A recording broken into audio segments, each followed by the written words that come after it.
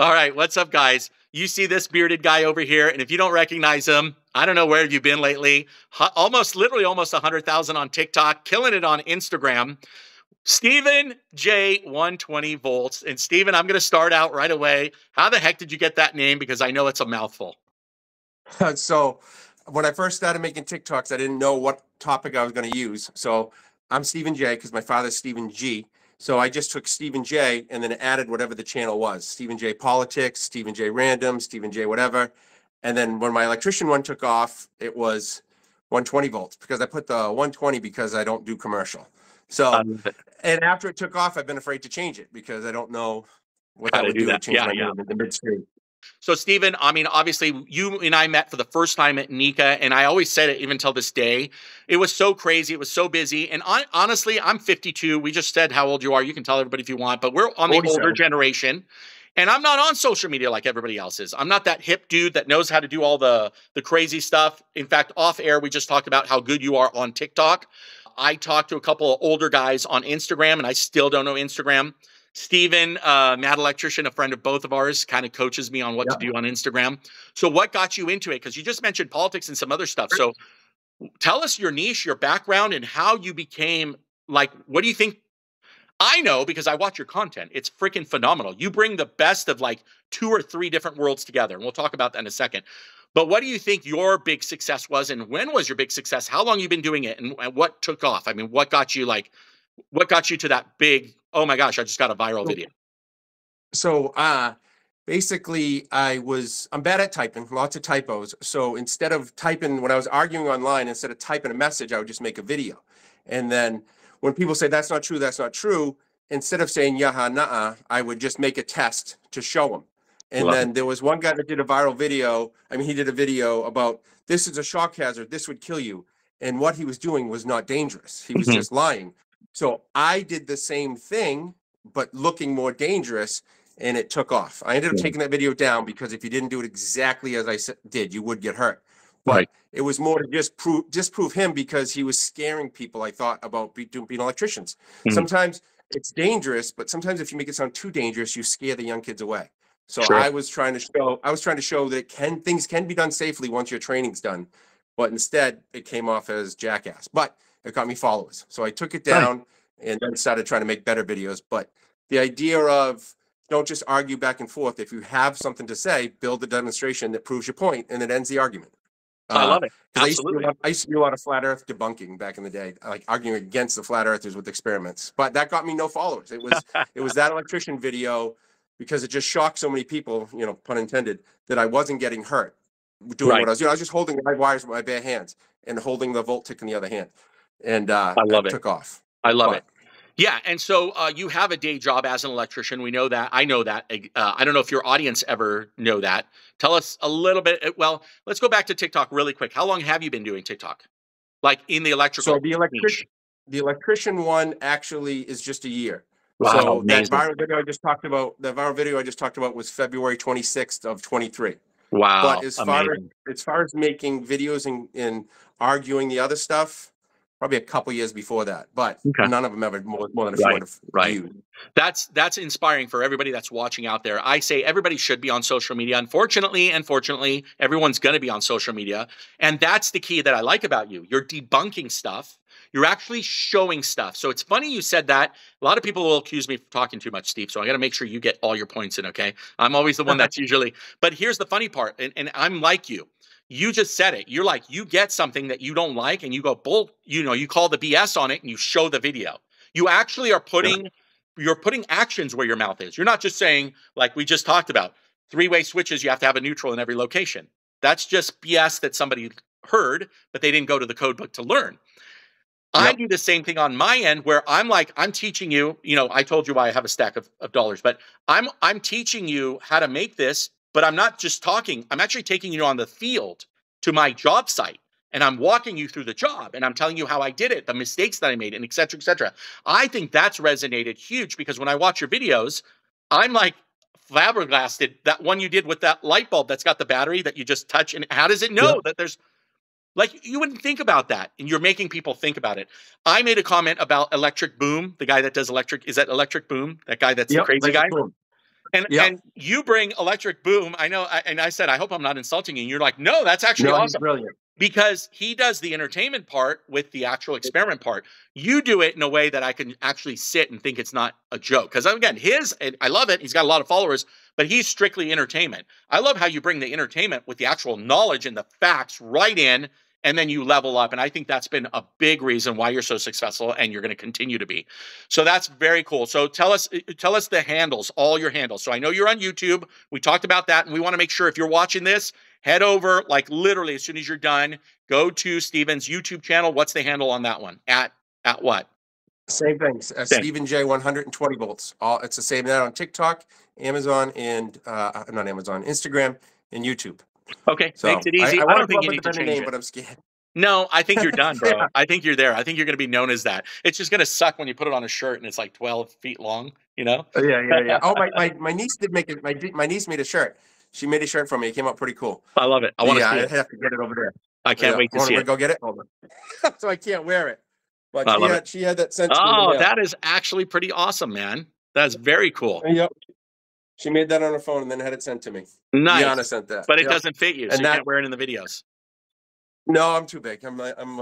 I need All to lose a little bit. All right, all right. Hey, you know what? Um, so uh, tell us kind of about your experience. You said you're mostly residential. What's your experience like? Oh, you're over in Maine. If people do- don't realize that, Steven's over in Maine. Tell us what the licensing's like. Are you just an electrician? You're a contractor? What's your goals there? So I uh, I started right at 18. I did it with my dad and uncle growing up as a teenager. It became my full time job at 18. Um, I tried about that was in 1995. I tried a handful of times to run a business. I just couldn't get it to go well. I'm just not Mhm. that organized. So, and then it was about 2011. I decided to officially give up running my own business, and I went and got a job with the government doing maintenance. Awesome. So it was residential for the first whatever 15 years that is, and then in 2011 I went with the government doing industrial maintenance at night from six at night to six in the morning, seven days on, seven days off. Wow. So then I have my other group where I can continue my electrical business, but because it no longer pays the bills, if I mismanage it, right. it's fine. It's just it's just money and working for people I like and doing Sure. jobs I like. Yeah, that's But, awesome. Yeah, so so what definitely you do? mostly You- residential. I love old houses. Old houses. If I could just wire, rewire old houses and fish wires and snake wires all day long, I'd be happy and troubleshoot old circuits. But fortunately, Very you can't just do that. Now remind me, is uh, Doug and Josh in Maine? Uh, Lumen Brothers? Did you meet them Uh, at I, NECA? haven't- I don't know of it. I don't think I met them. If they might Oh, be, but I they're don't the think I met Modern them. I was, Electrician I was podcast. starstruck. At, Yeah. I, I was starstruck at NECA. I was I was just totally flabbergasted to be in the room with those people. And it, I wish the, the weekend flew by. I wish I could go back and do it again and not be so overwhelmed. Uh, let me tell you, so if, yeah, if, if, it, if we could do it again, you and me would be hanging out a lot more. Trust me. That, but hopefully we get you to NECA in uh, 2024 in Philly. We're already working on some big things with NECA on that, and with some of the brands. It's going to be really cool. So, uh, so uh, do you like do you like work? Do you have a lot of time to kind of like look at see what your next project is? Like you come up with stuff. For me, like I, honestly, this past two weeks I've had creators block. It happens. I'm just kind of like there's things in life, you know, family. We're both family family uh, men that we know. Family takes precedent. But how do you create create that? What do you come up with the next idea? How do you do that? And and how often do you do it? Because you post quite often. Yeah, so uh, it usually it's, I'm triggered by a comment that makes me want to make it. Mhm. So that I think that's why my, sometimes my uh, my content looks a little, a little ADHD and scattered because I can't fake it. If I it has to be something I'm excited to do, excited to build. So there'll be a comment that springs an idea in my head, and I got to make it right away. I can't do this evergreen kind of backlog of stuff, you know, Right. because then you can tell in the videos that if I'm just going through the motions because I want to make a video, I mean, I think I need to make the video. I it looks like it, you know. Yeah. So usually somebody says something and there's a nah, yeah, huh, back and forth kind of thing, and I'm like, well, this is how I'll prove it, you Yeah. know. So I, I just go and do it. Um, and then every once in a while, there's just silly stuff that I just kind of do, like uh, you know, I want to burn a hot dog with electrical and find out how many amps a hot dog draws. Like no love it. value to it, just goofiness. Right. I love it. I love the fact that you don't have to. Open it, You just getting that camera on and you're doing it. For me, it's I'm a very ad hoc person when I'm talking about what I know I'm talking about, which is running the electrical business, marketing, and all that stuff. Of course, it just comes naturally. I look at the camera the whole time. In fact, at NECA, they called me the one take wonder because if I know what I'm talking about, I just I don't need any takes. Like, let's do it.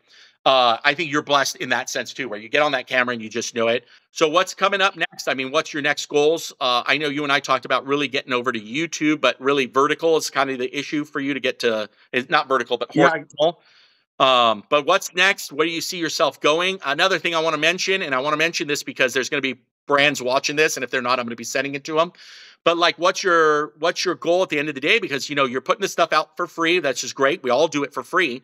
But also uh, your thoughts on monetizing and letting your channel know. Because again, a lot of people accuse me, oh, you're just a salesman. Yeah, I'm trying to sell you an investment, and if this doesn't 10 times your value, if you don't get 10 times what you paid me in in money back or in value, I'll give your money back hands down.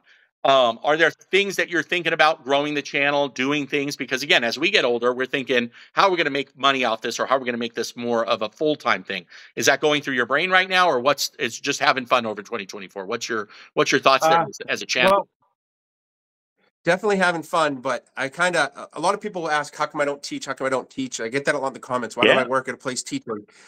I don't think again going back to the idea I couldn't fake it. If you give me a curriculum and you tell me today you have to do box fill Mm. to the same 19 kids all season long, I, I would it would I wouldn't like it. right. So I wish there was a way I could link up with apprentices that had a specific problem and I give them an hour of my time and we solve that problem together of something that they're not able to get from their journeyman because maybe their journeyman doesn't care or Yeah. their journeyman doesn't know and their their school teachers dealing with 19 kids in a curriculum. If I could somehow hook up with these apprentices, I said kids, you know, the apprentices can be in their 40s nowadays. There's no that's awesome because a lot of Right. people like hit rock bottom for bad decisions and now they're rebuilding their life. But Yeah. so like a third or fourth year apprentice, if I could somehow link up with them, um, that would be more productive and more rewarding than just posting the videos to Sure. ether, you know? Sure. So Maybe- I just don't know how like to a- network that out.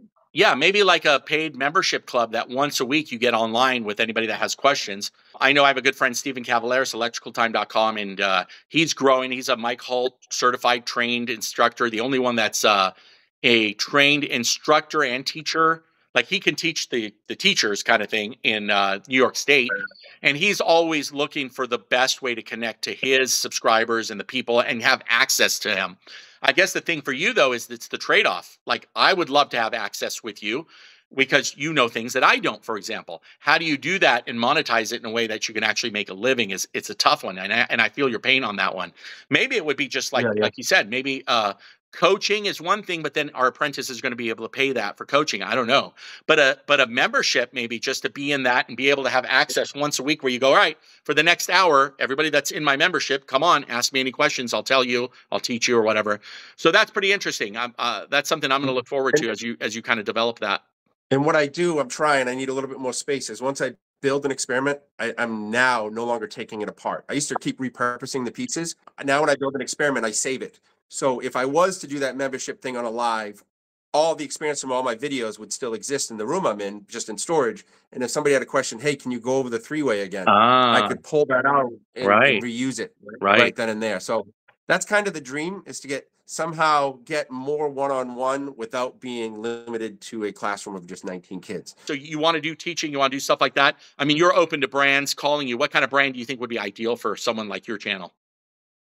Well, if, if it's if I'm tutoring kids, I think as you were speaking, that's the word that came to my mind. That online tutoring would be what I was thinking. Yeah, I could be showing kids how to use specific tools, the proper tools to use to match by code. And apprentices are underutilizing it, like torquing equipment properly. If I, you know, something like that would be a good. I could show that video on the right way to use it because maybe they have an old timer journeyman who's like, ah, we don't need that. So or you that, just that can't you know, ask. You just can't ask. equipment. Yeah, you just can't ask because you feel stupid, or you might think, you know, Yeah, yeah. yeah, I, I just know someone there who's an apprentice who they're telling me that they ask their apprentice questions. I mean, they ask their journeyman questions, and he's like, "Ah, "It doesn't matter. It doesn't matter. It doesn't Mm. matter." Like the, the the journeyman doesn't want to get into the debate and the discussion to give the kid a better, deeper understanding. He just Right. wants the kid to put black to black, white to white, so we can go finish the job and get to lunch. And uh, the apprentice doesn't want that. You only get four years to learn, That's and it. then once you're licensed, you're working. You know, Yeah. we all learn continuously our whole life, but those first four years is when your job is to learn. And you've got to be hooked up with a good company and a good journeyman that respects that and Yeah. helps you and, and mentors you. I love that passion, man. I love that passion. Not a lot of people have it, and not a lot of people have it that are bringing it to social media like you are. So I appreciate that. I mean, it's it's huge. Well, listen, I don't want to take up all your time. We're going to do an official podcast later. I'm actually praying that this thing's recording because we're just doing it on our phones. Who knows? But uh, hopefully it does. So everybody knows how to reach you. I'll tag it down below, up above. You, just to let you know, man, I appreciate you. You gave me one shout out, and I think I got 100 subscribers in that one day. Can you believe that? That's how much influence Wow. you have, brother. So keep doing what you're doing for sure. I'm a big fan. Uh, I can't wait to tell everybody how you're going to get involved in our event. It's pretty much electricians give back, and Steven's going to get involved because he's going to have a whole segment, whether he likes knows it or not. Uh, 15 minutes. it's all him telling you and teaching you stuff. So that's a great one. You know, you could do the apprentice section. You could do a bunch of stuff. Uh, we'll we'll talk about a tool brand that'll sponsor your section too, and then hopefully come and join on board. For all of you guys that are watching my channel, I appreciate you guys being here. Click my links down below. We've hooked up, Steven. I don't know if you know, but now we are promoting. We're officially hooked up with Next Insurance because I'm a big proponent. Everybody's got to get insured if you're doing work out there. Don't be doing those side Absolutely. jobs because if you burn that house down, you're going to be liable. Your family's going to be hating you, and you'll probably end up in ruin. So get insured. Do it the right way. And of course, we're all in with Jobber this year uh, because it's the lowest price point. There's no excuses for my subscribers to get into field software. So we've hooked up with Jobber. Those are just some of the ones below. I appreciate you, man. I can't wait to see what's going to happen next. And uh, just, you know, you're a friend of the channel, so feel free to come on board. And, oh, and one thing, everybody, if you're watching this and you're friends with us, share your posts especially on instagram i i i will repost a lot of people will won't share your video like you know i think it's just tag us or forward it to us so that we can post it on our stories. That's a big one. I know you probably know more about that, or actually, Steven Mad Electrician will tell us more about that. Uh, yeah, yeah, definitely got to learn to do more of that stuff. Yeah, it's funny, and and again, he's been a big influence for you as of me on Instagram, right? He got you on Instagram, kind oh, of. God, he saved, he saved my Instagram. I was stuck at 500 followers until he gave me a little pep talk, and then uh, I changed a few things that he told me to do, and I went from 500 to 10,000 followers in like nine days, maybe Amazing. 15 days. Amazing. This is how yeah. humble he is he texts me the other day and he goes, Hey, Jeff, he goes, I'm not doing this because don't think like I'm, and I'm like, Steven, you could tell me to jump off a cliff and I would probably really be debating. Like, there's nothing you could tell me, brother, that I wouldn't respect or take as a. And he said, "You're you're posting some stuff on your story. I don't even know what it was. Whatever he said, I like did it instantly, and I said, "It's done. Anything else, just tell me." Because you know, if someone's winning wow. it, if someone's winning at something, which is again, if you're if you're telling people the right way to do code, and the right way to discern. Like you said, bro, like you said, I mean, here, I'm just bringing out the code book. A lot of people take this and they never freaking open it up, you know? Yeah, exactly. And I'm going to be honest with you. I haven't been on the field in 14 years, Steven, but I have never opened up the code book as much as I have in the past year because of people like you that are that are getting me back and saying, "Wait a minute. I I know the code, but I don't know the code. Like you need to know it at a different level. It's what we do. So the, I think that currently the, what social media gives people the best way to learn code is if you think somebody's doing something wrong and you want to call them out on the internet, do it, but find the code reference. Exactly. That gives you the, if you're an apprentice, that gives you the practice of the book. It finds out if you're right or wrong. And then if the argument spirals, you know you're right. You know, you got people that just throw out on social media what their uncle taught them. Well, that doesn't matter. Right. You have to be able to find it in the book. And uh, I, I, have got a lot better. I code myself this last year on a few topics that I was rusty on just because I saw people doing it. And I didn't want to just be the guy to say that's wrong. I wanted to be the guy to say that's wrong because of a NEC this. Yep. And uh, it, it's been hugely helpful for me. I can't imagine what it would do for apprentices that, you know, they don't use the book every day. Yeah, they should. But, yeah, absolutely. I 100% agree. All right, man. Well, look, I love the conversation. Can't wait to get back on with you. And uh, till then, I guess uh, my saying is we'll see you on the next one. Thank you very much. All right, brother. We'll, t- we'll see you soon.